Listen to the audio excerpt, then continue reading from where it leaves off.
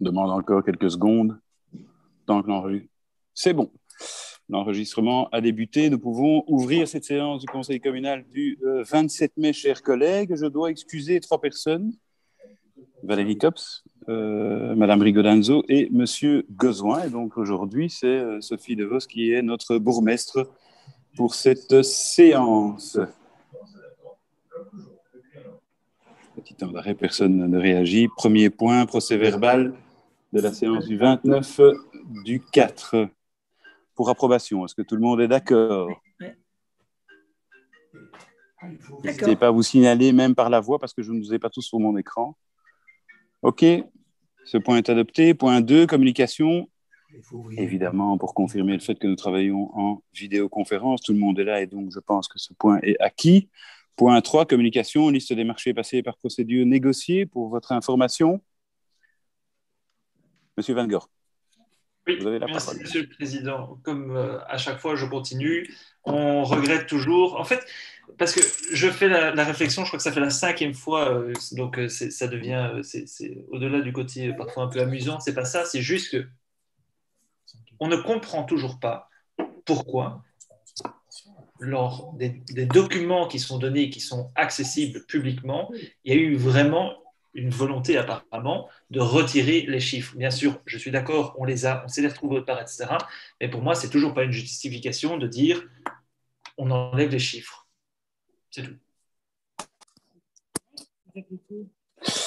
Très bien, écoutez, en tant que président, je prends acte hein, je vais renvoyer aux réponses qui ont déjà été formulées et dire effectivement que si les chiffres ne sont plus euh, disponibles immédiatement dans l'ordre du jour complet, il reste quand même euh, facilement accessible par ailleurs. Voilà, donc je pense que la prochaine fois, on risque d'avoir le même échange euh, de vues sur cette question. Je crois que je peux considérer ce point abordé et passer à la liste, le point 4, la liste des arrêtés adoptés par le bourgmestre. Est-ce qu'en la matière, il y a des euh, questions, des, arrêtés évidemment qui nous sont soumis pour prendre connaissance? Pas de questions, ce point est adopté. Point 5, ASB Le Pavillon, composition, modification de composition. Le représentant pour le groupe Écolo qui deviendra Monsieur Decoq. Est-ce qu'il y a des commentaires? Pas de commentaires, ce point est adopté. Point 6, la Maison des Jeunes d'Odergame, même chose, composition, modification du représentant pour le groupe Écolo. Madame Gigot est euh, proposée. Est-ce qu'il y a des questions? Pas de questions. Ce point est adopté. Point 7, Iristime. Euh, candidature pour euh, administrateur, administratrice. Euh, une candidature a été proposée, celle de Liv Jorens. Est-ce que ce point fait consensus? Oui. Félicitations, Madame Jorens. Vous voilà administratrice d'Iristime. Viva quoi? Désignation d'un délégué aux assemblées générales. Là aussi, une seule candidature, et si je ne me trompe, c'est Madame Lenoir pense pas de dire de bêtises, il n'y a pas de réaction dans la salle, donc c'est juste. Est-ce qu'il y a, félicitations Madame Lenoir, parce que je ne crois qu'il n'y a pas d'autres candidatures. Il n'y a pas d'autres candidatures et il n'y a surtout pas de remarques, je pense. Voilà, ce point est adopté. Point 9, rapport annuel de la représentante de la commune au conseil euh, d'administration de Sibelga Interfin. Vous avez eu euh, le rapport annuel en, euh, l'annexe du point. Euh, comme vous l'avez entendu, Madame Cops, qui est notre représentante, est excusée aujourd'hui et donc elle ne pourra pas répondre à vos éventuelles questions. Je vous soumets et nous vous soumettons ce point pour prise d'acte. Est-ce qu'il y a des remarques en la matière? Bien entendu, toutes les questions pourront être posées ultérieurement sur ce rapport via toutes les formes que vous euh, souhaiterez, que ce soit par écrit ou même une question orale si un point euh, vous euh, suscite une, quelconque question orale. Est-ce que ce point est adopté? Il l'est, je ne vois personne se manifester. Point 10, Brutelli, Assemblée générale ordinaire du 15 juin. Alors aussi, nous votons comme à l'accoutumée sur l'ensemble des points qui sont mis à l'ordre du jour. Donc, nous donnons notre, notre accord. Il y a différents points, des rapports divers, bilan, compte, les nominations statutaires et les décharges aussi qui sont prévues en la matière. C'est un classique en la matière et vous précisez qu'il euh, n'est pas prévu une présence physique du représentant de la commune pour cette euh, assemblée générale. Est-ce que Ce point suscite des réflexions ou des questions? On peut adopter ce point. Il est adopté. Point 11, caméra, zone de police, Uccle Watermal Fort Game. Utilisation de caméras fixes. Il y a trois accords d'autorisation qui sont donnés au travers de ce point. prévoit l'usage de ces caméras en différents euh, points de la, commune. On détermine aussi les modalités, les modalités d'utilisation. Je ne crois pas me tromper en disant que ce point a déjà été abordé en commission, mais je me trompe peut-être. Non, ça a été le cas. Est-ce qu'il y a encore des euh, questions à ce sujet?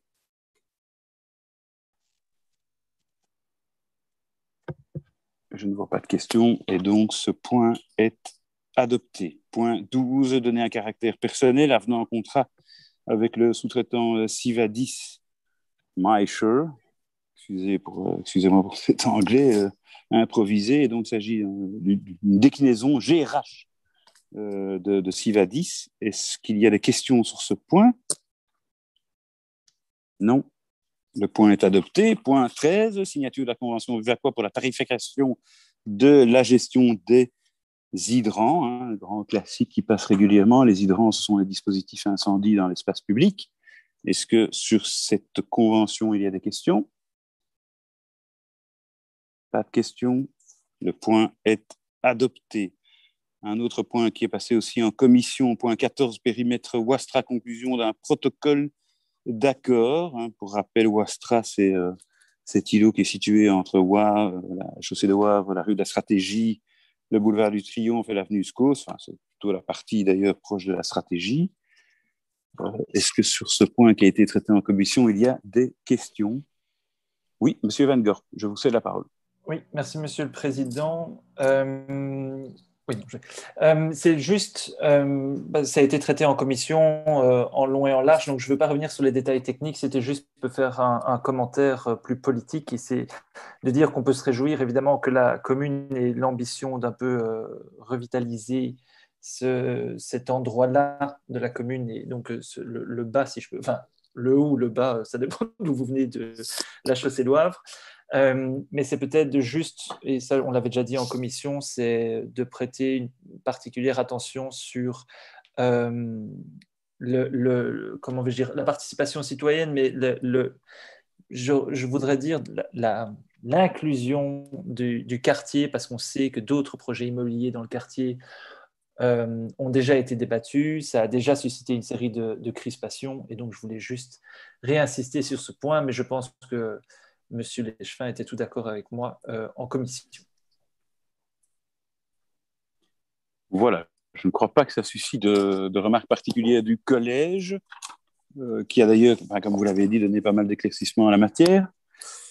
je vous propose de euh, considérer ce point comme adopté, de passer au point 15, la modification du règlement subside pour la stérilisation des chats domestiques, règlement du 21 janvier 2021, qui concerne plus particulièrement le puçage des animaux.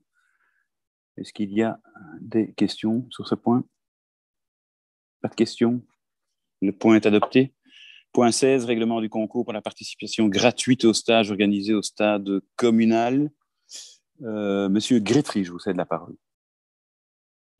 Oui, tout d'abord, je voulais remercier euh, notre équipe d'avoir organisé une euh, commission sport, mais qui avait relevé quand même le problème de, concurrence entre nos stages parascolaires ainsi que Action Sport. enfin, moi, j'attendais un retour, je n'en ai, eu aucun. je voulais donc savoir si, pour les répartitions des salles aussi, tant pour les autres sports, euh, un, bureau sport devait bientôt être organisé pour qu'on soit mis au courant de la chose. Merci. Madame Léchivine, si vous souhaitez réagir. Oui, je peux répondre. Hein. Donc oui, en effet, la commission euh, des sports, euh, qui a discuté en long et en large du règlement, avait posé la question euh, de l'offre qui était quand même assez importante de Action Sport au sein du stade communal, puisque nous avions autorisé, enfin, il est question d'organiser que des stages sportifs au sein du stade. Et quand on allait sur le site de Action Sport, on remarquait qu'il y avait quand même tout un certain nombre de stages et des stages qui n'avaient rien du tout avec, qui n'avaient rien du tout à voir avec l'offre sportive. Donc, vérification faite, euh, Action Sport, en réalité, tiendra euh, deux, euh, deux, centres de vacances, si je peux appeler ça comme ça. Un premier au stade avec tous les stages sportifs et ils ont une deuxième infrastructure au sein d'une école, avenue Chaudron, je pense que c'est le collège Saint-Hubert. Et alors là se tiendra tous les stages qui, qui n'ont rien à voir avec le, le sport, style Top Chef, atelier cuisine, etc. Donc voilà par rapport au retour à la question qui avait été posée. Euh, lors de la commission. Et pour la deuxième question, je n'ai pas très bien compris, c'est pour l'occupation des infrastructures. Oui, oui histoire de, de, de, pouvoir permettre à l'avenir d'anticiper sur les, les, différentes réservations pour pas que des clubs soient lésés, euh, si, si, si, justement des, des organismes tels qu'Action Sport euh, viennent et empêchent euh, des clubs qui ont pour habitude de, fonctionner chez nous à Outdoor Game, qu'ils ne soient coincés. Bah, il y a l'exemple du, du, frisbee, entre autres. Et, voilà. Et et la présence d'Action Sport. Mais ça, je suppose qu'on en discutera peut-être lors d'un bureau. Oui, on peut tout à fait en discuter euh, lors d'un bureau parce que la présence d'Action Sport au stade communal, lorsque, lorsque nos terrains sont euh, libres, euh, n'a rien à voir du tout avec les occupations habituelles dans nos autres infrastructures sportives. Donc, on peut en mm. discuter entre nous s'il le faut, mais évidemment, c'est priorité à nos clubs et personne n'est lésé on en discutera. D'accord, merci. Merci Madame Léchevin. Et donc, effectivement, ce, point sera éclairci dans le cadre des commissions ad hoc. Euh, et donc, je peux, je crois, considérer ce point comme adopté. Point 17, euh, convention de subventionnement 2020 dans le cadre de l'accompagnement des mesures judiciaires alternatives, SEMJA, avec le ministère de la Justice. Il s'agit d'une ratification hein, de l'ordre de, de près de 60 000 euros. Est-ce qu'il y a des questions en la matière? Pas de questions. Ce point est adopté. Point 18, contrat de sous-traitance de données personnelles entre la commission communautaire commune et la commune de Dorghem relatif aux appels par les communes concernant les réservations pour la vaccination. Est-ce que ce point suscite des euh, questions? On sait combien euh, le RGPD est euh, suivi de près par la commune. Pas de questions. Le point est adopté. Point 19, fabrique d'église Saint-Julien, exercice 2020, c'est le compte. Alors, le résultat est un résultat qui est positif. Alors, il y a une opération un peu particulière qui a une régularisation euh, des subventions de 2011 à 2018 qui ont été versées le, 28 janvier 2020. Donc, c'est une intervention pour le moins euh, coquette puisqu'il s'agit de 70 000 euros au total, mais bon, qui est répartie sur toutes les années en question. Et donc, euh, en la matière 1, est-ce qu'il y a des questions? Et si pas de questions, je vous demande si on peut avoir le vote habituel. Vote habituel. Très bien, je vous remercie. Et pour information, toujours, euh, les points sont approuvés compte tenu des votes de tout un chacun. Point 20, introduction d'un recours au tribunal de première instance de Bruxelles à l'encontre des taxes régionales sur les établissements dangereux, insalubres et incommodes. Euh, exercice d'imposition 2020. C'est une autorisation donnée à la commune d'Esté en justice et ça concerne une série de bâtiments euh, communaux qui sont affectés euh, donc à des, prestations de services publics. Et donc il y a là une divergence de, de vue entre la région de Bruxelles-Capitale et la commune. Est-ce que vous êtes d'accord avec ce point? Oui, le point est adopté. Introduction d'une requête d'appel à l'encontre d'un jugement prononcé par le tribunal de première instance de Bruxelles du 4 mars 2021. Ça concerne les contentieux habituels avec ici Proximus, autorisation d'ester en justice. Est-ce que ce point euh, a votre accord? Oui. Alors on peut passer au point 22 qui est du même ordre pour euh, euh, un jugement qui a été prononcé le 27 avril 2021 et qui concerne ici Orange. Est-ce que ce point euh, a votre accord? Je ne vois pas de réaction. Le point est adopté. Point. Euh, attendez, je ne me trompe pas, ça va tellement vite. Point 23. Acquisition d'un immeuble situé chaussée de Wavre 1977. Euh, une acquisition, pardon, pour 320 000 euros. Alors, il y a une petite modification technique qui a déjà été introduite dans le, le dossier et qui vous a été soumis et qui, euh, en fait, précise le fait que euh, l'acquisition se fait pour une utilité publique et donc à dessein d'utilité publique. et non pas comme ça avait été euh, noté initialement, que l'on récupérait un bien d'utilité publique pour une utilité, publique. Est-ce que ce point suscite des questions? Madame Mascal, que je vous cède la parole. Oui, ma question vaut pour, cette, sur ce point-ci et pour le point suivant. bon, je vous venez d'apporter une petite précision, mais je me demandais si on avait déjà une idée plus claire de l'affectation de, de, ces deux biens et le cas échéant des coûts de, rénovation qui apparemment sont importants ou en tout cas nécessaires pour un des deux biens. Je vous remercie. Et donc, je pense pouvoir donner la parole à Madame la bourgmestre dans la fonction. Oui, donc là, juste pour vous préciser, l'affectation est bien inscrite dans la, dans, délibée, mais donc notre, notre souhait est d'affecter ces deux biens du logement, à du logement social en particulier, euh, et non, nous n'avons pas encore commencé euh, les études et nous n'avons pas donc, euh, les études d'état des bâtiments, donc nous n'avons pas encore de coûts à vous communiquer en la matière. Mais ce sera bien du logement qui sera la destination de ces immeubles. Est-ce que ceci répond à votre question? Je pense. Oui, parfait.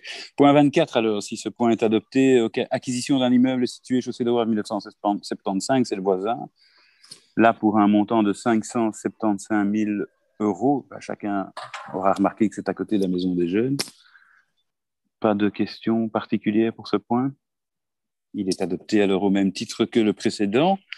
Et nous passons aux questions orales. Point 25, question orale de M. Van et de Mme Mascalque à propos de la rénovation de l'avenue Daniel Beaune. Et je vous scrute pour savoir qui. Voilà, Mme Mascalque, je vous cède la parole. Je vous remercie, Monsieur le Président. Euh, voilà, d'abord, je fais un tout, tout petit préambule. Euh, je sais que c'est une question qui a, et vous savez aussi certainement, été reportée, qu'on avait déjà préparée pour le Conseil d'avril, qui a été reportée maintenant au mois de mai. Alors, les choses ont peut-être évolué dans l'intervalle. Je me permettrai simplement de poser la question telle que nous l'avions euh, rédigée à l'époque, d'autant plus que nous avons voulu relayer des questions que se posaient des, des citoyens et des riverains. Donc, je vous lis mes questions. Parmi les travaux de voirie importants prévus par la commune figure la rénovation de l'avenue Daniel Beaune. Euh, comme vous le savez, certains riverains s'en sont émus et ont souhaité être associés à la réflexion.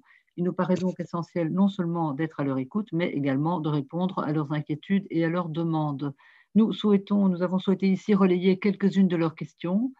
Quelle est la nature des travaux, asphaltage et trottoirs? Pourquoi n'intégrez-vous pas la mise en place de casse-vitesse dans le cahier des charges? Pourquoi n'intégrez-vous pas des bollards dans le cahier des charges? Euh, Encore une fois, si toutes ces questions euh, ont déjà avancé, euh, je m'en excuse. Je vous répète simplement ce que nous avions prévu à l'époque. Pourquoi avoir prévu un délai aussi long de 48 mois pour des travaux dans une rue qui fait 500 mètres de longueur? Des travaux de Vivaquois seraient prévus en 2022 dans une rue perpendiculaire, la rue Descartes, est-ce que le calendrier en tiendra compte? Les travaux de reconstruction de deux bâtiments rue du Moulin à Papier et leur probable incidence sur la mobilité dans le quartier ont-ils été pris en compte dans le calendrier? Et pourquoi avoir décidé de rénover l'avenue Daniel Beaune avant la réalisation de ces importants travaux? Avez-vous déjà prévu un plan de circulation et pourquoi n'avez-vous pas prévu de consultation préalable avec les riverains compte tenu de la durée des travaux et des difficultés de circulation à prévoir dans le quartier, et j'ajouterai, et de l'inquiétude qui s'était déjà manifestée. Je vous remercie. Merci pour vous répondre, Madame la bourgmestre en fonction. Oui, merci Madame la conseillère, merci euh, Monsieur le Président, merci Madame la conseillère pour votre question. Mais donc effectivement, bien en amont euh, de l'enquête publique, bien en amont de la consultation des plans euh, par les, par les riverains, il y a eu par un concours de circonstances des inquiétudes dans le quartier, mais qui sont véritablement euh, venues très tôt par rapport au processus. Donc nous consacrons beaucoup de temps en ce moment pour rassurer autant que faire se peut, parce que vous savez comment ça se passe. Il y a une rumeur qui part et puis ça enfle et en fait il n'y a absolument aucune raison. Et donc les riverains sont bien invités à faire part de leurs suggestions. Mais pour une série de questions, nous sommes vraiment beaucoup trop tôt dans le processus, comme comme je vous le disais, donc, que ce soit le mois passé ou ce mois-ci, il y a encore un certain nombre de questions auxquelles je n'ai tout simplement pas de réponse. Donc, comme je vous l'ai déjà expliqué en commission également, par rapport aux, aménagements physiques de l'avenue Beaune, nous sommes tenus par des contraintes légales et réglementaires très strictes. RRU, donc le, règlement régional d'urbanisme, les impétrants, le CIAMU, qui ne nous laissent quand même assez peu de, marge de manœuvre dans ce type de voirie. Euh, tout le monde la connaît, qui est assez étroites, bordées de maisons unifamiliales qui disposent souvent de zones de recul. Donc, on ne peut pas déplacer les maisons. C'est un problème dans cette rue. On aimerait bien avoir des trottoirs larges, une voirie qui permet une piste cyclable et, tout ce que, et, tout ce que, tout le monde souhaiterait, mais ce n'est tout, simplement pas possible parce que nous manquons de place. Nous ne souhaitons pas non plus, et je pense que personne ne le souhaite, supprimer euh, la bande de stationnement. Nous ne pouvons pas faire des trottoirs ou des voiries qui ne sont pas euh, réglementaires dans leur largeur. Il y a des emplacements de certains imprétrants comme des conduites d'eau ou de gaz qui nous, qui, nous, qui nous, contraignent également. Donc voilà, nous sommes véritablement fort coincés par rapport à la disposition des lieux et aux contraintes euh, légales et réglementaires. Nous avons euh, tenu compte de l'avis des riverains qui habitent le dernier tronçon, donc côté grand euh, forestier par rapport au projet que, nous mettons sur, sur, sur, pied, qui sont inquiets de, la hauteur des arbres. Donc ce sont des, arbres qui ont pris vraiment une hauteur faramineuse. Ces arbres leur font de l'ombre. Ils ont fort peur de ces arbres lorsqu'il y a de la, de la tempête ou lorsqu'il y a même un petit peu de vent. Ils leur font de l'ombre. Et ils ont aussi complètement défoncé les trottoirs. Donc, par rapport à cette inquiétude-là de ces habitants-là du quartier, nous proposons le remplacement de ces arbres. Par ailleurs, nous proposons un projet qui verdurise le quartier. Il y a plus de 330 mètres carrés de zones vertes qui seront aménagées, qui diminue la vitesse des véhicules et qui sécurise l'usager faible, conformément à notre volonté politique de placer l'usager le plus faible en priorité. Alors, les pavés Victor, qui sont le, revêtement actuel, ne sont plus fabriqués à l'heure actuelle. Ce sont euh, des, c'est un, matériau qu'on n'utilise plus du tout. Donc, les réutiliser nous imposerait de garder du stock, puisque, comme je viens de le dire, on n'en fabrique plus. Et de toute façon, ce ne sont pas euh, des pavés, ce n'est pas un revêtement très euh, confortable par rapport au vélo, aux trottinettes, etc., à la mobilité douce en général. en ce qui concerne maintenant les, ouvertures et les réparations de voiries, en pavé Victor, c'est aussi beaucoup plus compliqué. Donc, effectivement, nous prévoyons de l'asphalte qui, je le rappelle quand même, limite fortement le bruit, mais sur la bande de circulation uniquement. Donc, ce n'est pas du tout à l'asphalte comme on a pu l'entendre, comme on a pu euh, euh, entendre des craintes de riverains. Il y a des pavés pour les trottoirs, des pavés pour les zones de stationnement et de l'asphalte uniquement pour la zone de circulation. Alors, les cases vitesses sont en fait intégrées au plateau trottoir. Nous allons faire un certain nombre de euh, trottoirs traversants qui seront en plateau et donc qui seront effectivement utilisés comme, comme casse-vitesse. Il y aura des bollards, mais pour protéger les arbres. Alors, les bollards, c'est une possibilité, ça pourra aussi éventuellement être un autre type de protection. Et il y aura quelques bollards dans le tournant qui vient de, de, de Van Nerom, mais il n'y aura pas de bollards le long des trottoirs. Le délai d'exécution des travaux n'est absolument pas de 48 mois. 48 mois, c'est 4 ans. Hein. Je veux dire, il y a, enfin, je veux dire, faut quand même y aller pour croire qu'on pourrait faire des travaux pendant 4 ans. Je sais bien que l'avenue est longue, mais alors à ce point-là. Donc, c'était vraiment une mauvaise compréhension euh, de, des documents. C'est une durée qui concerne en fait la durée de validité du marché et qui couvre les différents délais, euh, parmi lesquels l'exécution des travaux. Et donc, le délai de travaux, mais je pense que je vous avais déjà répondu à cette question, fera en fait partie des critères de choix de l'entrepreneur qui n'est pas encore désigné à l'heure actuelle. Alors, par rapport aux travaux dans la rue Bécart, il n'y a absolument rien de prévu, euh, ni dans les autres rues d'ailleurs. Donc, ni dans Beaune, ni dans les rues adjacentes, il n'y a de travaux euh, impétrants prévus. Et quand bien même il y en aurait, nous avons une plateforme qui s'appelle Osiris et qui permet de coordonner les travaux euh, au niveau des impétrants et de, tous les chantiers de, rénovation en région de Bruxelles. Donc, effectivement, ça fait évidemment partie des choses dont on tient compte. On ne fait pas des travaux dans une rue sans se demander ce qui se passe dans la rue à côté. En ce qui concerne maintenant l'immeuble de la rue du Moulin à Papier, donc effectivement, il y a eu des, travaux de, rénovation de, l'immeuble Sodexo, hein, euh, qui a fait beaucoup parler de lui. À l'époque, on ne savait pas que euh, quelques années plus tard, eh bien, il y aurait euh, le nouveau bâtiment qui euh, serait également concerné par des travaux de reconstruction. Donc, bien sûr, on en tient compte. Et donc, c'est la raison pour laquelle, en fait, on ne va pas directement rénover la rue du Moulin à Papier, parce qu'on ne va pas rénover maintenant une rue qui va après subir probablement des, camions de chantier pour la nouvelle rénovation qui, je le répète, n'était pas prévue à l'époque. Enfin, en tout cas, nous n'en étions pas euh, informés. Et donc, la rue du Moulin à Papier sera rénovée après le chantier pour éviter d'abîmer euh, des revêtements fraîchement refaits. Et donc, enfin, voilà, euh, c'est ce que je dis depuis le début, euh, nous sommes vraiment tôt dans le processus, on est avant l'enquête publique, on est avant la désignation de l'entrepreneur, donc il est, évidemment, beaucoup trop tôt pour parler d'un plan de circulation. Il sera fonction du phasage des travaux, parce qu'on ne va évidemment pas non plus bloquer toute cette avenue d'un coup, on va faire des phases, probablement quatre, hein, qui sont assez naturelles quand on connaît l'avenue Beaune. Et donc, euh, ce plan de circulation sera fonction du phasage des travaux. Voilà. Merci, Madame la bourgmestre en fonction. Madame Mascal, pour votre réplique. Écoutez, je, vous remercie pour euh, toutes ces informations. Bon, j'espère effectivement que la procédure d'information régulière et que le contact est maintenant pris et que euh, vous allez pouvoir euh, ben, apaiser les, craintes des riverains et leur donner au fur et à mesure l'occasion de s'exprimer et des informations sur les délais qui étaient sans doute la chose qui les inquiétait le plus. Je vous remercie. Nous le faisons. Je vous remercie, mesdames. Euh, point 26, question orale euh, toujours du groupe MR OpenVLD à propos de la vidéosurveillance dans le parking communal. Et pour intervenir, Monsieur Van Gort. Oui, merci Monsieur le Président. Euh, oui, on voulait revenir sur les problèmes de sécurité qui ont eu lieu dans le parking communal et notamment le fait que certains, qu'il soit un lieu où certains je dirais pas trafic, c'est un grand mot, mais où il y a des, au moins consomme des certains types de substances, comme ça je reste général. Euh, et donc nos questions, c'était, il nous est revenu notamment que le dispositif en fait de caméra de surveillance existant n'était pas forcément toujours connecté. Alors je voudrais savoir si c'est une information qui est, vraie, si c'est le cas, est-ce qu'il est, est-ce que on a réglé le problème, et si oui, euh, depuis quand est-ce qu'il est réglé? Deuxièmement, c'était euh, de savoir si vous avez déjà prévu euh, des autres mesures pour mieux sécuriser euh, les lieux, notamment en termes d'incendie. et puis peut-être revenir, parce que c'est surtout là apparemment où, ça y a, on va dire, des problèmes, c'est dans cette cage d'escalier. Est-ce qu'il y a un intérêt à garder cette cage d'escalier ouverte la nuit sachant que euh, ça me permettrait toujours aux, gens qui sont garés de, sortir et d'entrer dans le parking, mais via les, accès euh, des voitures.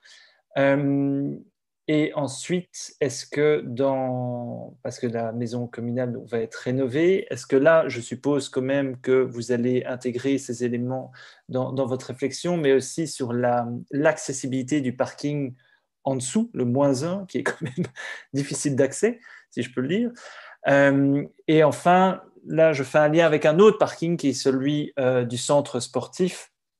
Euh, et c'était de savoir si on n'a pas connaissance qu'il n'est il est pas sécurisé, mais c'est plus un lieu que, que je qualifierais de où on ne se sent pas très en sécurité, si je peux dire. Et donc là, c'était de savoir si vous aviez des projets pour essayer de rendre ce parking plus rassurant. Je vous remercie. Pour vous répondre, Madame la bourgmestre, en fonction. Merci, Monsieur le Président. Merci, Monsieur le conseiller, pour votre question. Ben, je vous remercie déjà pour vos, euh, pour vos encouragements aux équipes euh, d'entretien. Euh, donc, c'est vrai que ces dernières vivent une situation un petit peu extraordinaire, extraordinaire, étant donné la pandémie et de nombreux jeunes qui investissent le parking et ses alentours d'ailleurs de façon quotidienne, mais cela ne les transforme pas en délinquants, évidemment, pour longtemps. Et donc, je cite euh, la police, ce parking n'est pas, euh, pas une zone de non-droit euh, qui connaît des, faits graves récurrents, comme votre question le, laisse sous-entendre. je vais vous donner les faits réels rapportés par, par la police concernant ce, parking. Il y a eu un moment avec vol d'un véhicule, fin avril.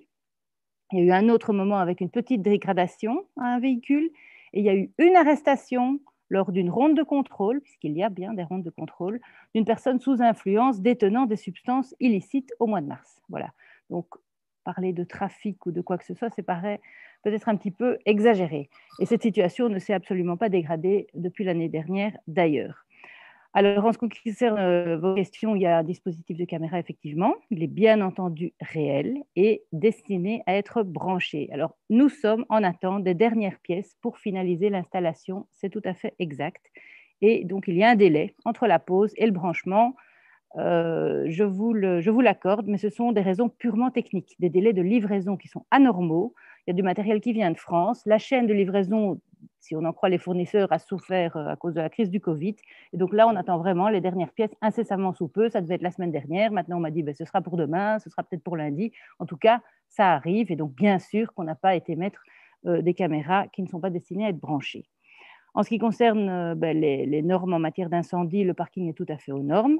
Les cages d'escalier, vous parlez de les fermer, mais enfin, je, rappelle quand même que ce sont les sorties piétons des automobilistes euh, une fois qu'ils se sont garés, et puis ce sont aussi des sorties de secours. Donc, on ne peut pas les, on ne peut pas les, condamner si facilement. Euh, et enfin, par rapport au centre euh, sportif le Games, je ne comprends pas très bien votre, votre, votre question ou vos remarques. Il est équipé de, caméras, il fait l'objet d'une surveillance absolument quotidienne en matière de, problématiques, on a connu un vol de vélo, euh, vélo qui était resté trois mois sur place. Donc, je veux dire, c'était presque du pouce au crime aussi. Mais en tout cas, voilà, il n'y a vraiment pas de, euh, de quoi s'inquiéter par rapport à ce parking. Voilà, j'espère avoir répondu à vos questions.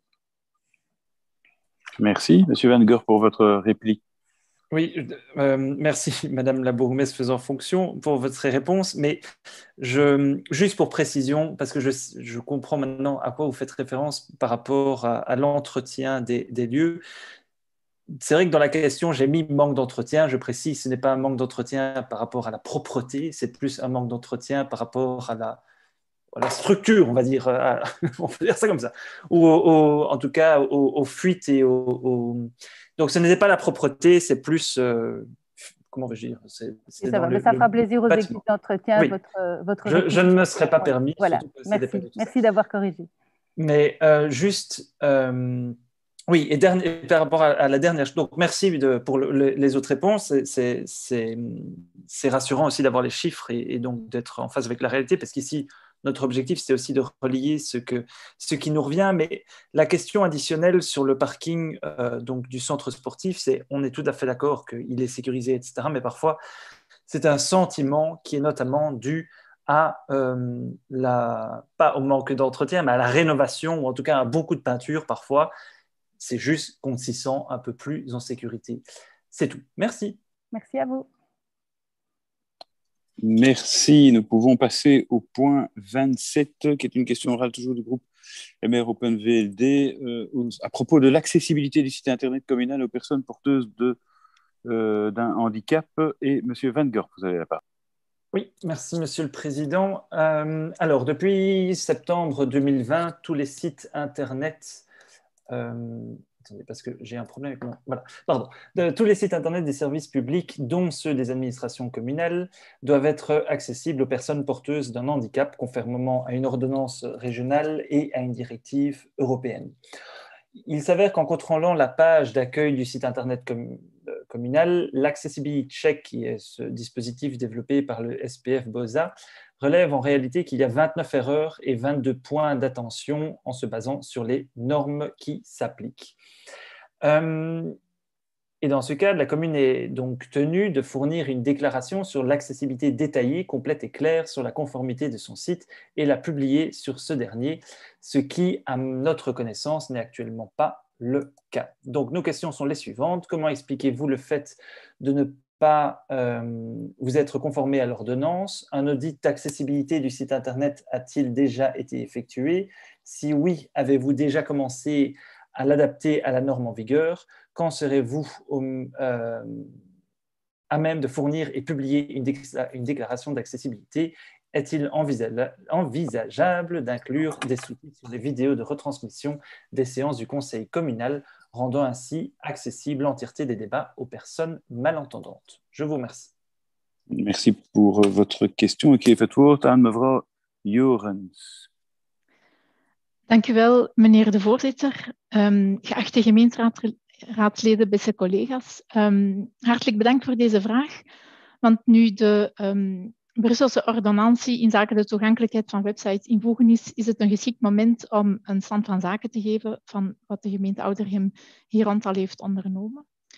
Um, het is zo dat in het voorjaar van 2020 al de uh, betrokken diensten van administratie informatievergaderingen hebben bijgewoond over deze ordonnantie, over de verschillende stappen die moesten genomen worden uh, om de website van de gemeente eerst te, te, controleren of te laten controleren op zijn compatibiliteit en daarna de vervolgstappen die moesten genomen worden indien deze niet conform zou blijken te zijn. Uit deze vergaderingen was snel al gebleken dat een externe audit toch wel aangewezen was om die controle wel met de nodige expertise en, de nodige mate van detail uit te voeren. En er werd besloten om hiervoor beroep te doen op de vereniging AnyServer. De samenwerking met die VZ2 was in voorbereiding, wanneer dat helaas uh, de komst van de COVID-crisis daar uh, wat roet in het eten heeft gegooid en, en, dat tijdelijk op pauze is moeten worden gezet. En begin dit jaar, januari 2021, werd dat dan opnieuw gelanceerd.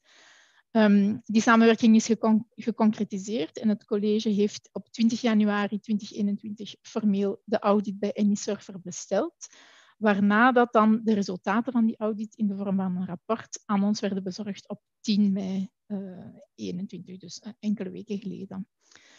Nu, de belangrijkste opmerkingen die werden geformuleerd in het auditrapport, die hebben um, betrekking eigenlijk op drie zaken. In de eerste plaats um, ontbreekt er soms een tekstequivalent bij afbeeldingen en links die op de website worden uh, geplaatst. Um, in de tweede plaats eh, stel, stelt de audit vast dat de relaties tussen verschillende inhoudelijke elementen van de website niet altijd overeenkomt met de normen. En een derde belangrijke opmerking was op vlak van de kleurcontrasten van de website, die niet sterk genoeg zijn, waardoor dat de zichtbaarheid uh, niet altijd goed is.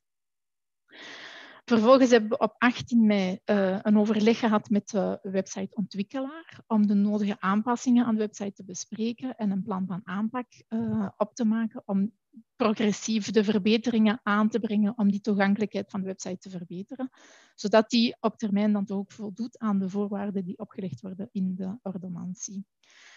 Um, er zijn twee zaken waarmee dat we onmiddellijk aan de slag kunnen met de websiteontwikkelaar. Dat is de tekstequivalenten en de kleurcontrasten.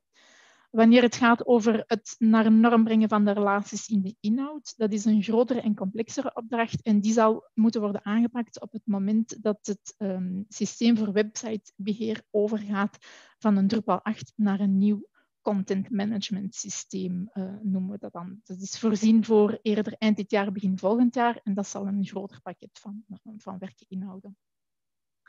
De toegankelijkheidsverklaring die werd intussen opgemaakt en op de website gepubliceerd, dus die staat er nu. En we zijn ook volop bezig om de beste manier om de ondertiteling van de uitzending van de uh, gemeenteraad, zoals vandaag, om die te realiseren. Er wordt volop onderzocht, waarbij we vooral op zoek gaan naar een goed evenwicht tussen betaalbaarheid en toch ook wel degelijke kwaliteit, wat zeker belangrijk is in deze. Dus zoals u merkt is het werk rond die toegankelijkheid uh, volop aan de gang. De wettelijk verplichte toegankelijkheidsverklaring die werd gepubliceerd op de website en we werken eraan om zo spoedig, spoedig mogelijk en zo volledig mogelijk de website conform te maken. Dank u wel. Dank u, mevrouw De Schepen, voor uw uitgebreide antwoord. Euh, monsieur Van Gur, pour votre réplique uh, Geen reactie, bedankt voor uw antwoord. Allee, goed. We gaan dus naar de volgende.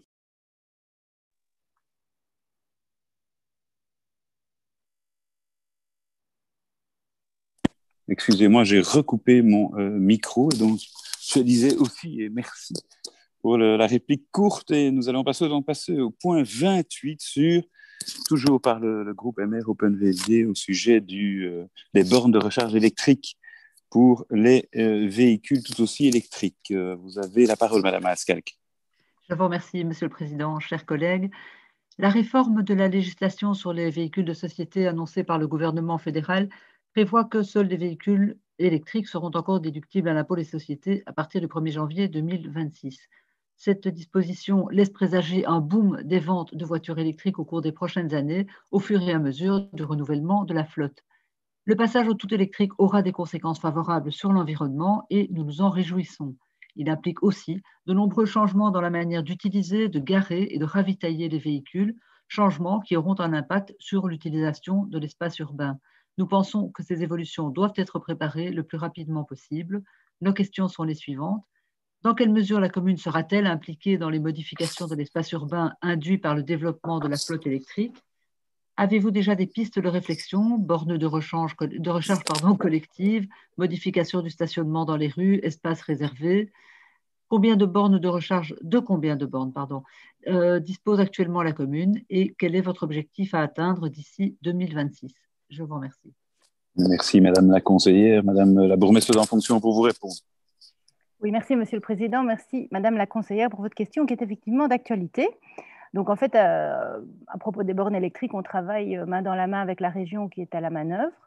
Euh, la région bruxelloise ambitionne de placer 11 000 bornes sur le territoire d'ici 2035.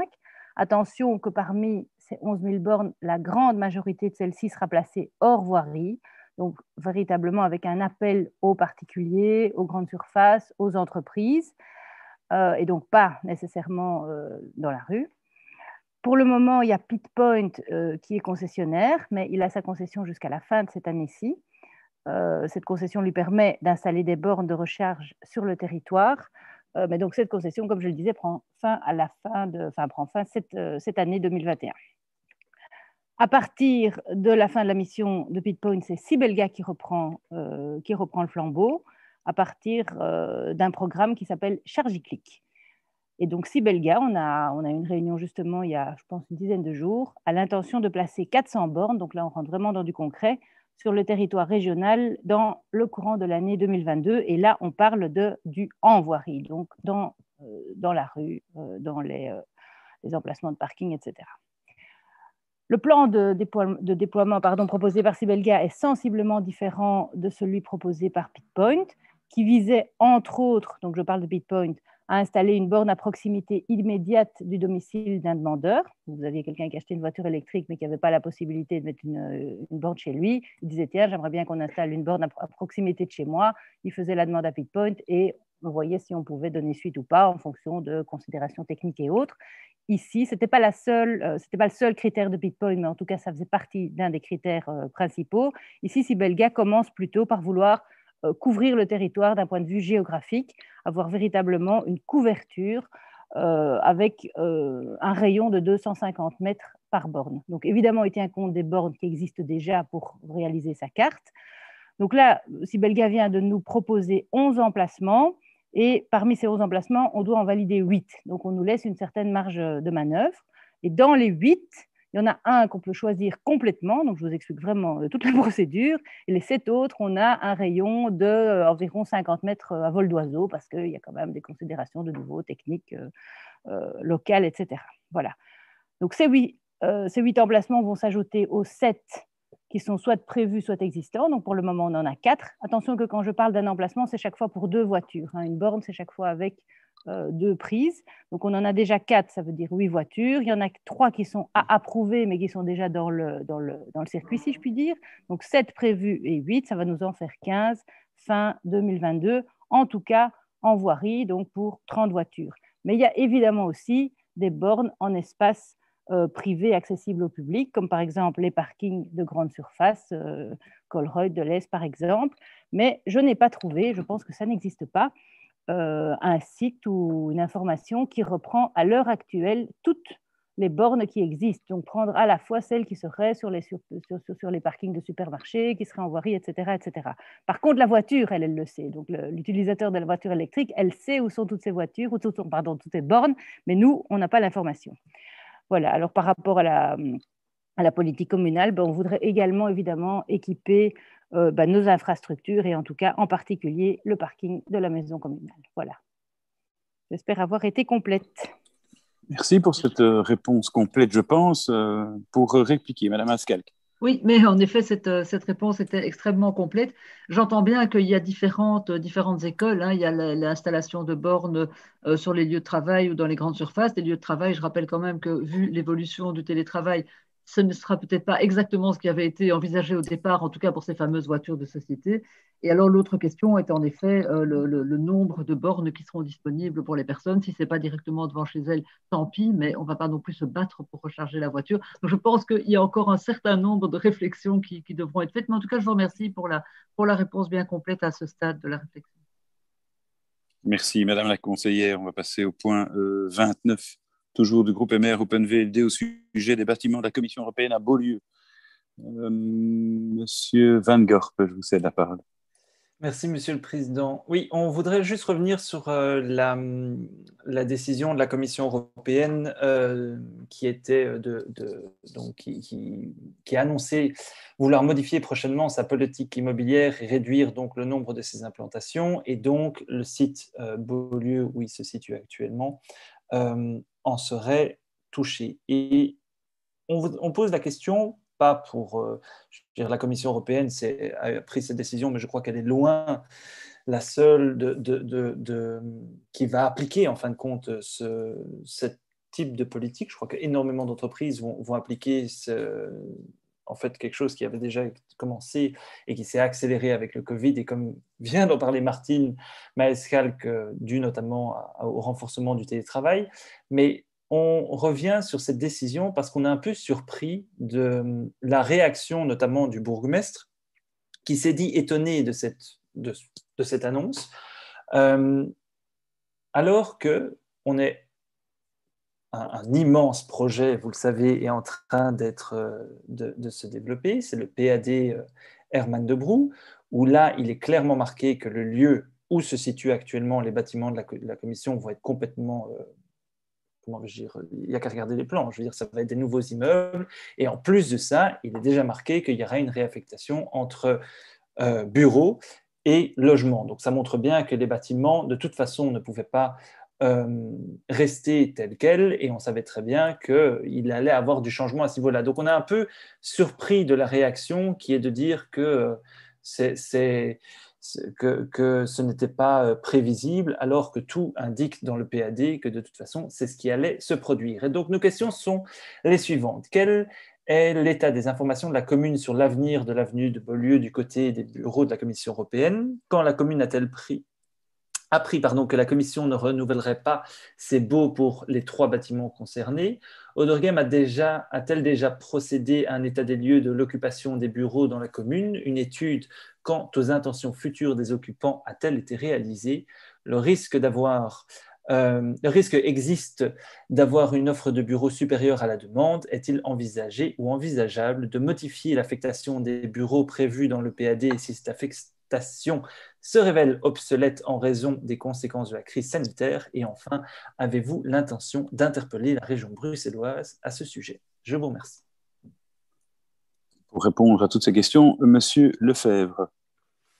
Oui, bonjour Monsieur le conseiller, bonjour à tous. Euh, voilà, votre question et la manière dont vous la posez, euh, moi, m'étonne. Je suis vraiment étonné que vous soyez surpris parce que si vous suivez un petit peu les déclarations de la Commission européenne au sujet de sa politique immobilière au cours des dernières années, elle a varié. Euh, lorsque M. le bourgmestre dit qu'elle est erratique, ben, il a tout à fait raison. D'abord, ni la Commission européenne, ni d'ailleurs les autres euh, propriétaires d'immeubles de bureaux ne nous informent euh, des fins de baux, ni même de la conclusion de leurs baux. Ce n'est pas de notre ressort. L'Europe non plus elle nous informe de rien et elle ne nous a pas informés dans le cas présent.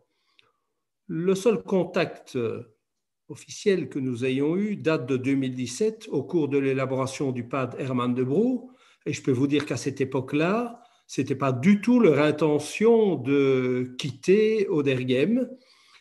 Vous vous souviendrez peut-être, comme ça je vous rafraîchis un peu la mémoire, qu'ils euh, voulaient même développer euh, un, site hyper important, équivalent à deux fois le Berlaymont, au cœur de Delta, au cœur du triangle de chemin de fer.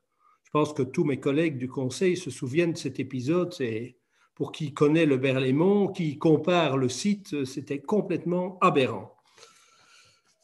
Mais ceci dit, euh, l'évolution de la politique euh, des bureaux, bien sûr, elle va être impactée par le Covid, mais pas seulement. Si les choses ont évolué ces derniers temps, c'est aussi par souci qu'ont beaucoup d'investisseurs et de, gestionnaires de bureaux de se rapprocher du centre-ville, du fait de la qualité des communications en transport public qu'elle permet venant de tous horizons. Odergem est, bien euh, desservi en matière de transport public, mais est orienté à ce niveau-là vers, je dirais, un secteur de la ville et vers un secteur de l'approche euh, périphérie de la ville. Donc, les propriétaires de bureaux à Odergem sont régulièrement en contact avec moi lorsque les occupants de ces bureaux euh, quittent ceux-ci, lorsque leurs immeubles ne répondent plus aux caractéristiques que l'on attend euh, d'un immeuble actuellement, lorsqu'il faut les rénover en profondeur, lorsqu'il faut en améliorer les performances énergétiques, ils prennent contact et ils envisagent les uns une rénovation profonde pour adapter leurs biens aux exigences actuelles. Et il y a notamment un immeuble qui a été ainsi rénové à l'angle de la chaussée d'Ouavre et de l'avenue Hermann de Brou.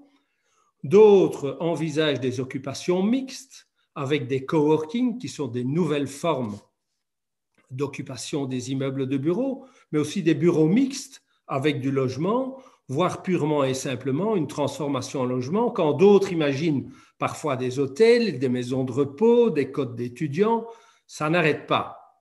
Euh, bien sûr, les propriétaires songent à faire en sorte que leurs biens ne soient pas vide d'occupants. Et c'est l'intérêt de la commune également que nous n'ayons pas des chancres qui restent vides d'occupants pendant longtemps. Or, dans le pas d'Hermann de Brou, je n'ai pas la même lecture que vous. Euh, pour ce qui est de l'avenue de Beaulieu, il était dit que si l'occupation actuelle ne se faisait pas, si on créait du logement, ne se poursuivait pas, pardon, si on créait du logement euh, dans le, pas d'Hermann de Brou, dans le bas de l'avenue Bonlieu, on pourrait augmenter la densité à cet endroit-là. Ça, c'est ce que disait la région.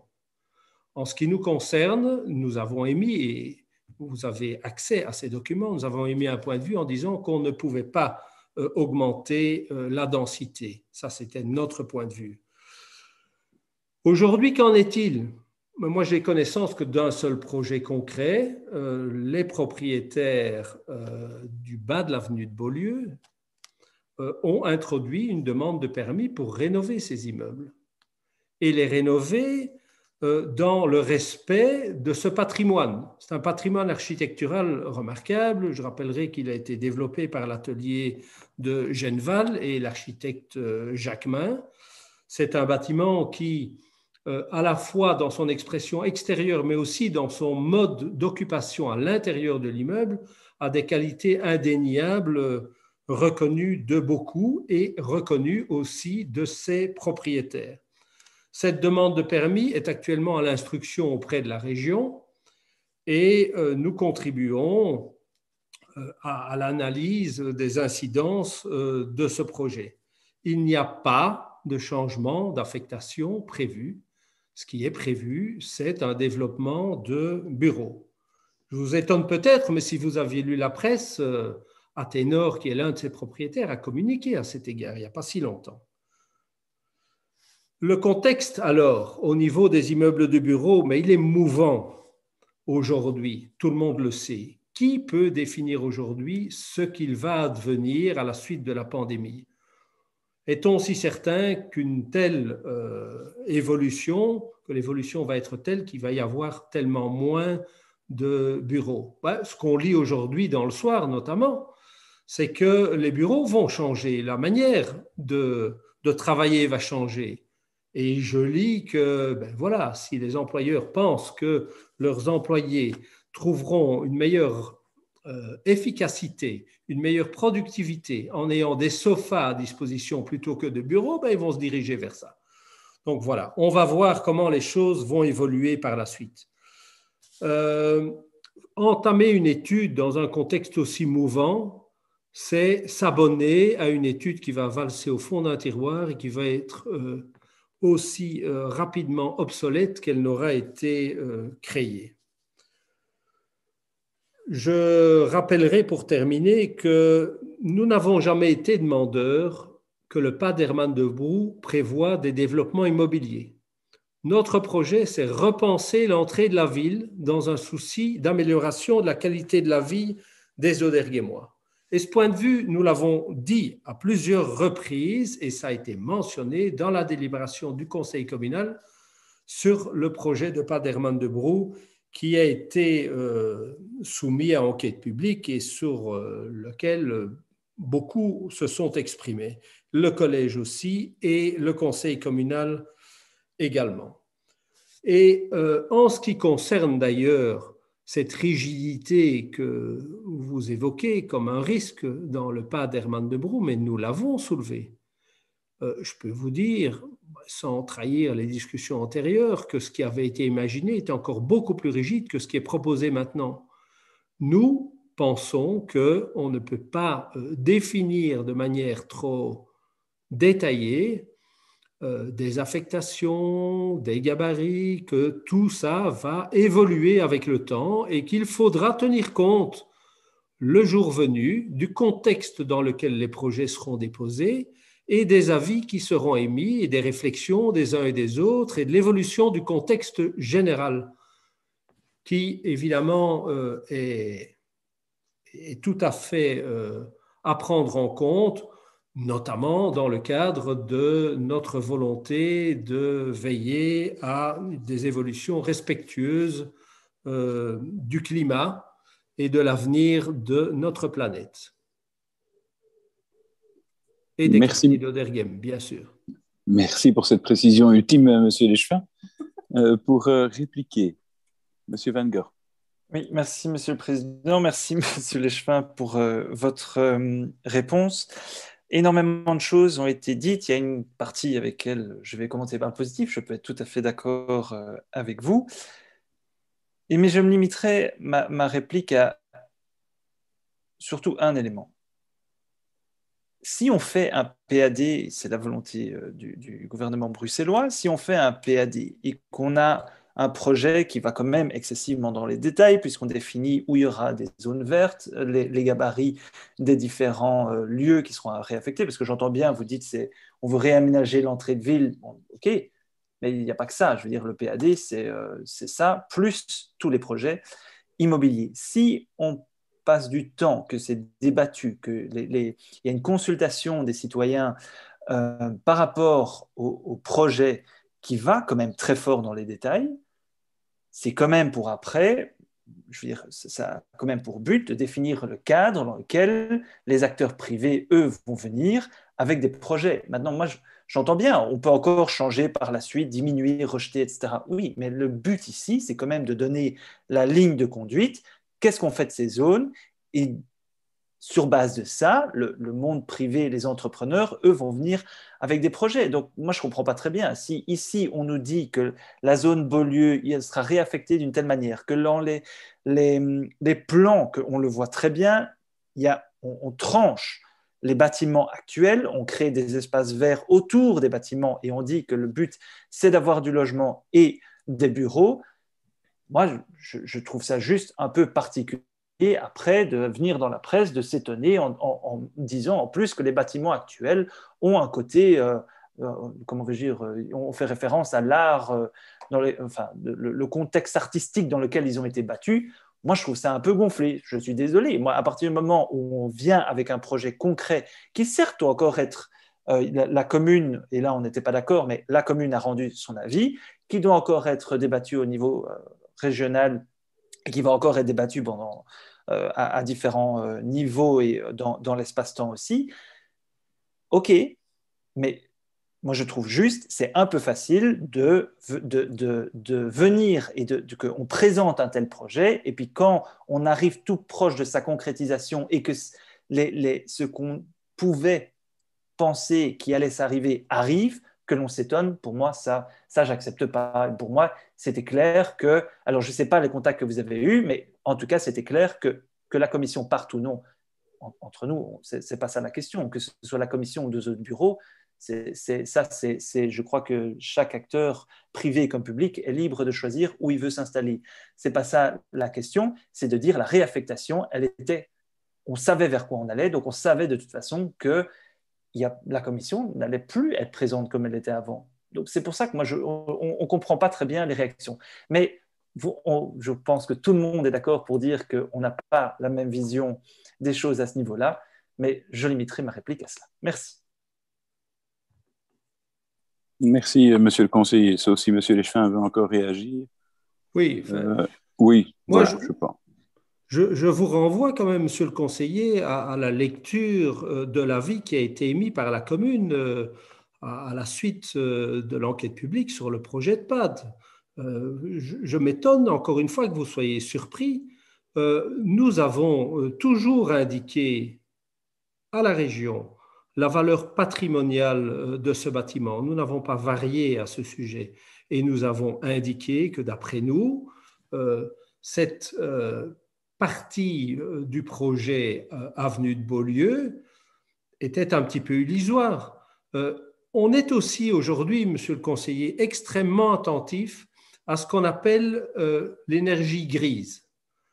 Démolir des bâtiments qui ont encore de la valeur euh, si des projets de reconversion sont possibles, cela nécessite une motivation particulière parce que c'est coûteux sur le plan énergétique, c'est euh, coûteux au niveau de l'environnement.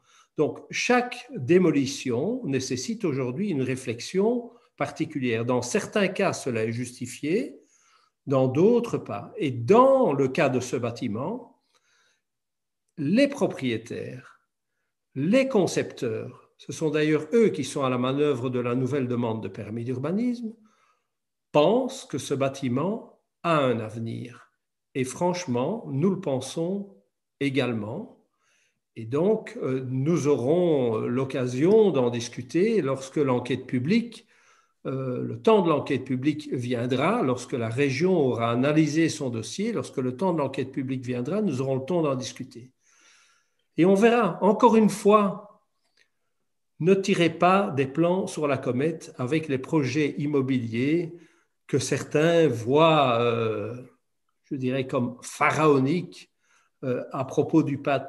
Je rappellerai que nous avons euh, émis, non pas le souhait, mais la position que ces projets immobiliers ne pourraient pas voir le jour sans la revalidation de l'axe de l'E411 pour améliorer la qualité de l'environnement des mois. Il faut le rappeler parce que régulièrement, je vois ressurgir cette idée que Odergem va encore euh, être euh, submergé de nouvelles constructions et que donc cette amélioration de, notre environnement n'aura pas lieu. Le collège souhaite, je le répète, que l'amélioration de l'axe de l'E411 intervienne avant des développements importants. Ceci dit, voilà, on ne peut pas euh, non plus empêcher la région peut-être d'avoir une autre idée, mais ayons confiance dans la région, attendons qu'elle prenne position sur nos remarques. Merci, Monsieur Léchevin. Monsieur le conseiller, si vous voulez avoir le dernier mot. Oh, si je peux avoir le dernier mot. Euh, ah, c'est la non, mais moi, moi je, et énergie grise, j'entends bien, hein, mais ce n'est pas moi qui, propose de détruire ces bâtiments et ce n'est sûrement pas nous qui proposons aussi de détruire le viaduc. Très bien, ceci me paraît être le mot de la fin pour ce point. Monsieur Van Gort, donc ce point euh, est clos et nous passons au point 30, relatif toujours du groupe MR OpenVLD, je tiens à souligner, relatif à la retransmission des matchs de l'Euro de foot. Et pour prendre la parole, Madame Mascal. Voilà. Euh, ben, je vous remercie. Je vous rassure, c'est la dernière de la soirée, en tout cas la dernière qui émane de notre groupe. Parce que toujours. Voilà. Euh, Monsieur le Président, chers collègues, lors du dernier Conseil communal, nous vous avions demandé si vous aviez déjà prévu des dispositions ou des restrictions pour la retransmission des matchs de foot de l'Euro. Depuis, le comité de concertation s'est réuni et a annoncé la possibilité de rassemblement de 400 personnes en extérieur pour tout type d'activité jusqu'au 30 juin et de 2500 personnes en extérieur dès le 1er juillet. La ministre de l'Intérieur a confirmé la tenue possible d'écrans géants. Tout ça, évidemment, à condition que l'évolution reste positive en matière de vaccination et d'occupation des lits en soins intensifs. Pour être complet, je mentionnerai que la presse du 19 mai, l'ADH, indique qu'Odergem réfléchit à une alternative via de plus petits écrans distillés dans des lieux concentrants de l'ORECA Nous répétons donc notre question, nos questions.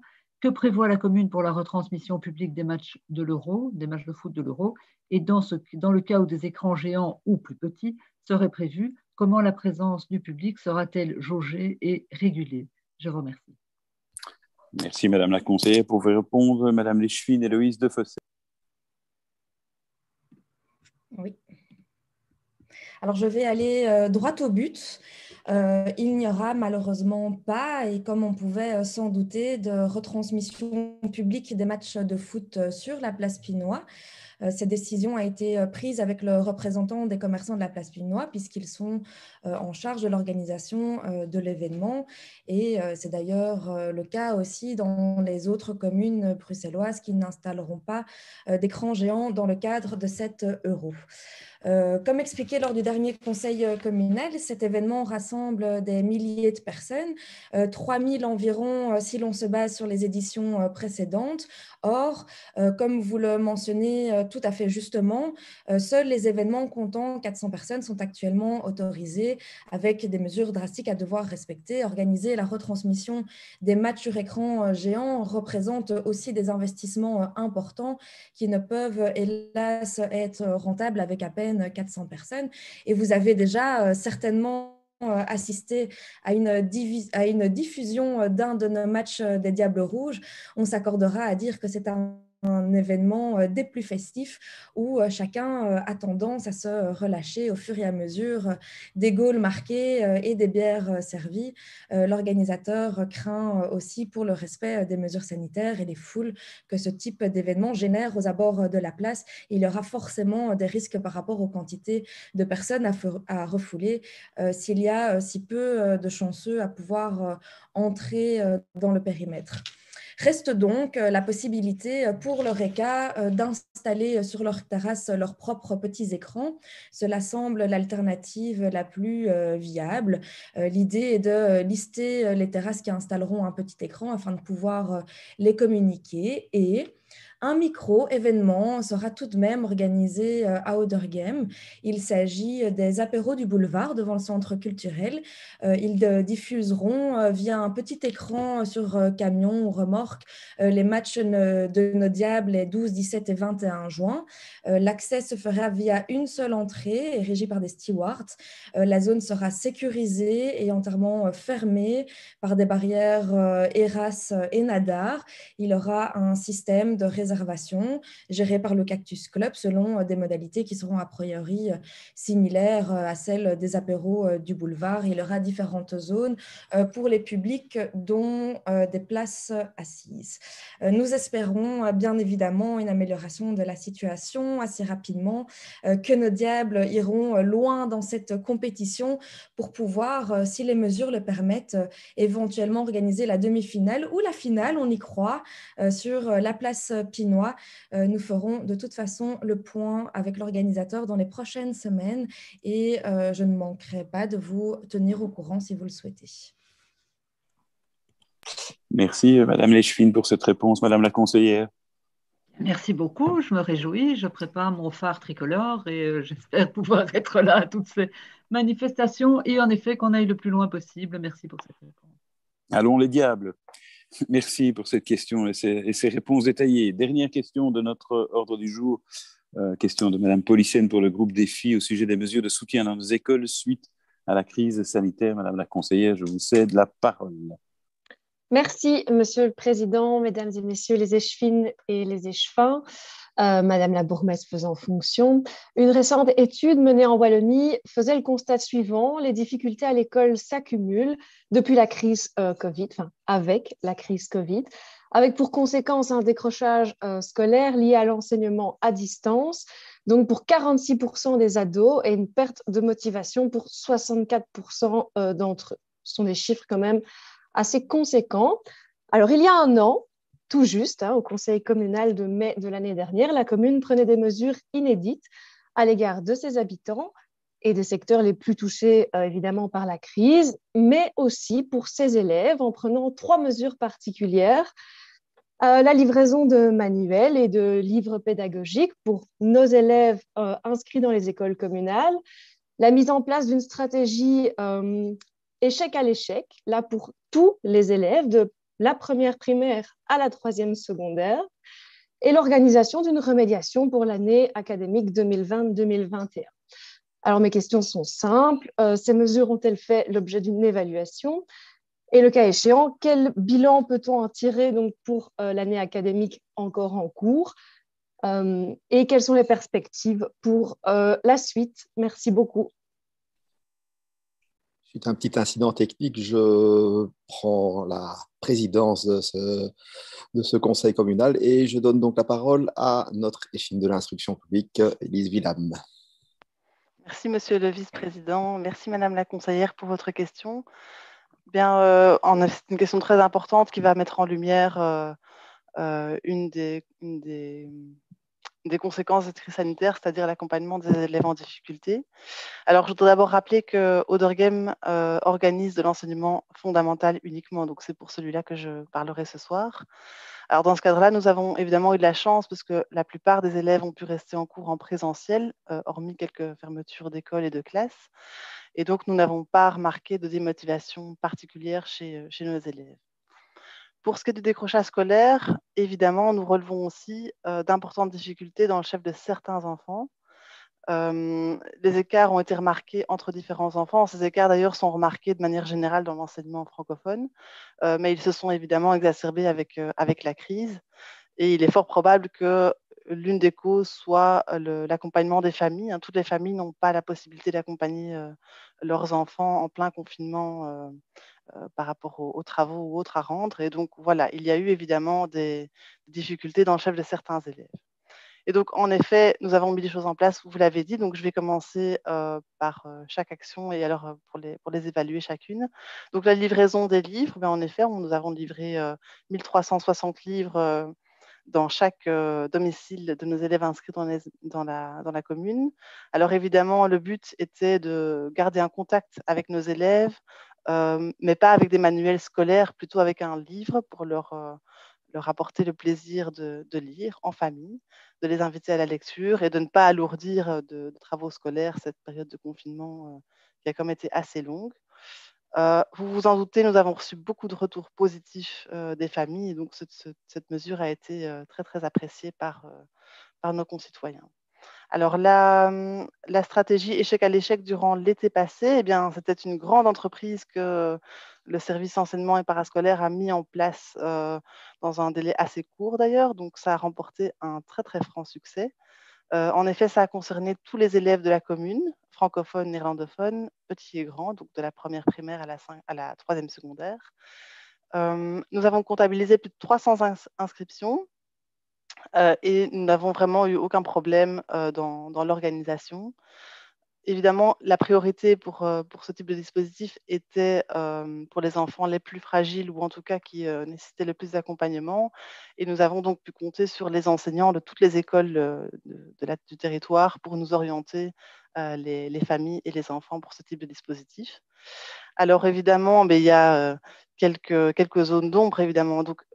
On est bien conscient que quelques heures de cours durant l'été, même parfois des, cours particuliers, euh, même s'ils est extrêmement précieux, bah, ça ne comble pas les lacunes, euh, malheureusement, des mois de confinement que les, enfants ont connus.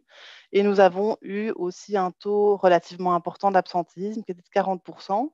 Alors, heureusement, vu le, succès du dispositif, nous avions à chaque fois des, appels et des listes d'attente, et donc nous avons pu contenter euh, le plus de monde possible. J'en profite d'ailleurs pour remercier vraiment vivement euh, le service d'enseignement et le service euh, parascolaire pour euh, cette organisation titanesque l'été passé. Enfin, pour terminer, vous l'avez bien souligné, donc la commune, pour remédier et pour accompagner les enfants en difficulté, a engagé quatre maîtres de remédiation pour cette année scolaire-ci dès qu'ils ont été engagés, nous, avons tout de suite mis en place des réunions entre enseignants, donc profs de remédiation et titulaires de classe pour essayer de construire une stratégie commune à nos quatre écoles. L'idée était évidemment de ne pas sortir les élèves de la classe, mais vraiment de pratiquer du co-enseignement. Donc que la personne qui, le, maître de remédiation, soit en classe avec l'enseignant, soit en classe, soit lors du temps supplémentaire hors de l'horaire, donc pendant les études ou autres. Alors, ce dispositif, il a eu des résultats plutôt mitigés. D'abord parce que c'était une situation exceptionnelle euh, avec euh, des enfants malades, des professeurs malades, des professeurs qui ne pouvaient pas se voir physiquement parfois. Et donc, ce n'était pas évident de collaborer pour mettre en place un dispositif aussi important. néanmoins, nous avons tiré des, conclusions intéressantes, notamment au centre scolaire des Marronniers, où nous avons pu engager une logopède qui, qui a donc l'action a vraiment eu un, franc succès auprès de l'équipe parce que ce logopède vient en classe, accompagne l'enseignant pour accompagner les enfants en difficulté. Donc là, ça a vraiment très très bien fonctionné. Par rapport à l'année prochaine, eh bien, une réflexion est justement en cours pour le moment avec les quatre directions des écoles, notre conseiller pédagogique et notre orthopédagogue pour essayer de, reconstruire une nouvelle stratégie pour l'année prochaine. Et donc, je ne manquerai pas de vous tenir informé. Je vous remercie de votre écoute et je vais passer la parole à Madame Crucifix.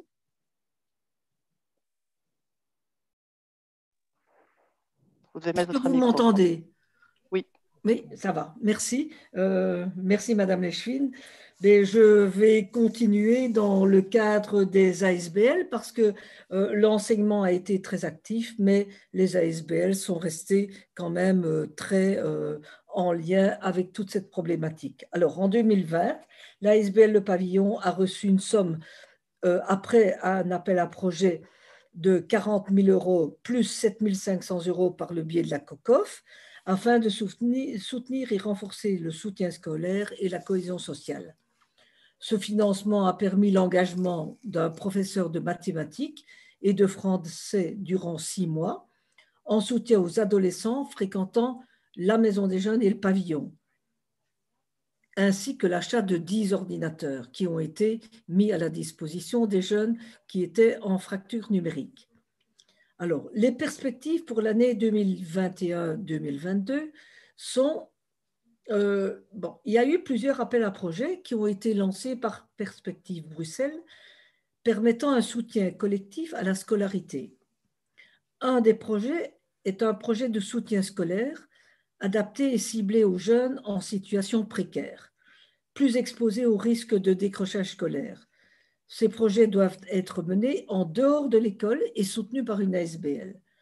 Le dossier de candidature doit être entré pour le 15 juin 2021 et le projet sera valable pour un triennat prochain de 1er janvier 2022 au 31 du 12 2024 le pavillon en partenariat avec le service prévention va rentrer l'appel à projet. Et espérons qu'on soit sélectionné. Maintenant, je passe la parole à M. Molders. Merci, euh, Madame. Merci, Madame la conseillère, pour la question. Je, profite de, m'inscrire, euh, de faire une petite incise euh, par rapport au soutien extrascolaire. Votre question portait sur le, euh, scolaire, mais il y a aussi énormément de soutiens extrascolaires qui sont gérés par la prévention et les actions scolaires via les écoles de devoir. Hein. Alors avant de parler d'un bilan, je voulais simplement faire un tout petit rappel de deux actions deux, des nombreuses actions, mais dans le cadre de votre question, je répondrai par rapport à deux actions. La première, ça a été un renforcement euh, par un engagement d'un mi-temps euh, qui a surtout servi à pallier à l'absence de beaucoup de bénévoles. Il faut savoir que nos bénévoles ont généralement euh, plus de 65 ans et, lors de la pandémie, évidemment, il n'était pas question qu'ils viennent en contact avec les, élèves. Et donc, nous avons renforcé via un mi-temps, un premier mi-temps, euh, qui, était une, qui est une animatrice euh, volante qui allait d'école de, devoir en école de devoir en fonction des, des, besoins. Euh, la, deuxième, la deuxième action que nous avons eue, c'était de nouveau un engagement, enfin une augmentation plutôt d'horaire d'une de nos animatrices pour renforcer l'aide parentale. Madame William y a fait une petite référence en sachant que, en disant plutôt que euh, les élèves qui n'avaient pas la chance d'avoir une aide parentale étaient malgré tout, on a constaté cela, étaient malgré tout euh, fortement pénalisés. Et euh, les écoles de droit ont pris conscience de cette problématique et ont décidé de mettre en place un système d'accompagnement des parents pour leur donner les outils pour aider leur enfant. Ce n'est pas toujours évident d'aider l'enfant et les parents doivent aussi pouvoir être accompagné et recevoir ces outils. C'est donc cela qu'a organisé cette, enfin, cette augmentation de, de, de, enfin, cette augmentation de travail, de temps de travail, pardon, excusez-moi, cette augmentation de temps de travail a permis en fait euh, d'accompagner les parents pour leur permettre également d'avoir des outils. Alors en termes de bilan, eh bien, le bilan, le, principal bilan, c'est que nous avons euh, ainsi euh, gardé un contact avec les jeunes pour éviter un décrochage ou, une possibilité de décrochage. Donc, c'était déjà essentiel de maintenir ce contact qui a eu lieu à la fois euh, en visio et à la fois en présence. On a euh, le deuxième bilan, c'est ce que je viens d'expliquer, cette nécessité d'impliquer les parents euh, et un projet se met en place en vue de pérenniser cette, cette action d'aide aux, parents, du moins de les outiller pour pouvoir suivre leurs enfants. Le troisième bilan, c'est bien sûr une nécessité de remobiliser les, des bénévoles. Euh, on souhaite évidemment que des bénévoles avant Covid euh, nous reviennent, mais on a un risque et nous avons une nécessité de euh, les remobiliser ou d'en remobiliser des nouveaux. Alors bien sûr, nous nous inscrivons également dans les appels à projets qui sont présentés par Madame Crucifix, puisque vous l'avez bien compris, ça concernait également le décrochage scolaire. Alors, je tiens aussi vraiment à remercier toutes les équipes euh, des écoles de Douar et, du soutien scolaire, médiation, ricochet, pour le travail qu'ils ont fait et qu'ils ont maintenu et ce contact qu'ils ont maintenu avec les jeunes pour éviter les risques de décrochage scolaire. Voilà, merci. Merci, euh, Mesdames les échevines, euh, Monsieur l'échevin, euh, merci aussi, Monsieur le vice-président, d'avoir suppléé à mon, arrêt technique. Madame Policène, pour répliquer. Oui, ben, je vous remercie à tous les trois pour nous avoir éclairés et pour nous avoir fait part aussi de ce bilan qui est plutôt positif en fait hein, pour nos élèves à Game. Merci beaucoup. Merci, Madame la conseillère. Voici qui clôt notre ordre du jour public. Et donc, nous allons euh, fermer là ou arrêter là l'enregistrement pour passer à la séance à huis clos. je vous demande de patienter quelques instants.